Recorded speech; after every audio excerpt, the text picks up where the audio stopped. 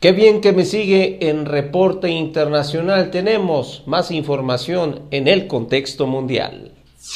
El gobierno colombiano tiene en su poder a William Carvajal Gómez, un ex paramilitar de ultraderecha considerado responsable de al menos cinco masacres.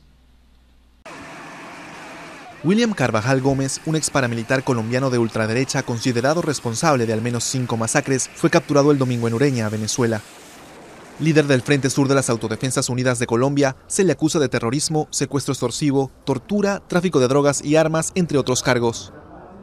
Está involucrado dentro de las investigaciones en 4.000 hechos criminales que corresponden a homicidios, desplazamientos forzados, Señalado como el último cabecilla prófugo en los últimos 10 años, sobre Carvajal pesan al menos 52 órdenes de captura. Había huido del país ocultándose en Brasil, Venezuela y Ecuador.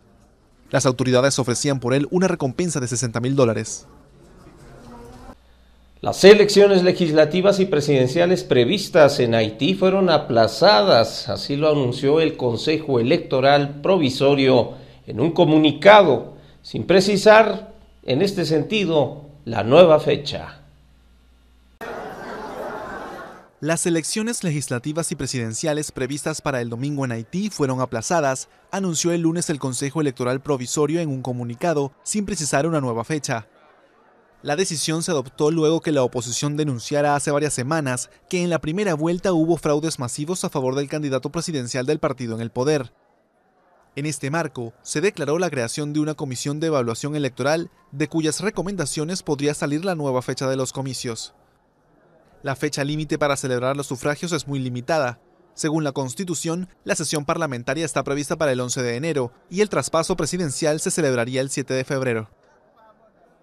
Ante sus pares del Mercosur, el nuevo presidente argentino Mauricio Macri pidió la liberación de los presos políticos en Venezuela un reclamo que sostiene desde su campaña electoral y que Venezuela rechaza, considerándolo como una injerencia.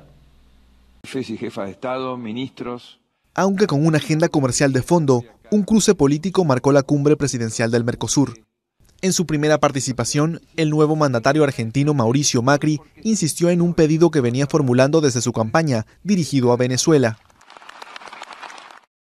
quiero pedir expresamente, aquí delante de todos los queridos presidentes de los Estados parte y asociados del Mercosur, por la pronta liberación de los presos políticos en Venezuela. Porque en los Estados parte del Mercosur no puede haber lugar para la persecución política por razones ideológicas, ni la privación ilegítima de la libertad por pensar distinto. Con la ausencia de Nicolás Maduro, la delegación venezolana estuvo encabezada por la canciller Delcy Rodríguez, quien consideró las declaraciones como una injerencia en la soberanía de su país. Una tensa fotografía oficial de los presidentes cerró la cumbre en medio del creciente clima de confrontación entre Buenos Aires y Caracas. El bloque emitió un comunicado que puso énfasis en el respeto de las instituciones democráticas y los derechos humanos en los países miembros.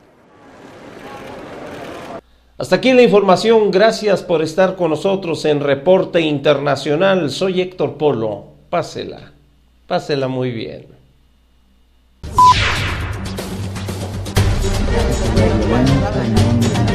Islamic country as their leadership. So in a sense, by use Obama's.